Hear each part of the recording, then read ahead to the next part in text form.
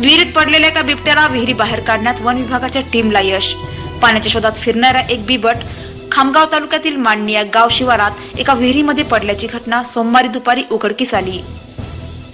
Buldhana one विभागाच्या Khamgaon one परिक्षेत्राचे मांडणी बीट कक्ष क्रमांक चारशे एक्क्याऐंशी जवळ शेतातील विहिरीत हा बिबट पडला होता.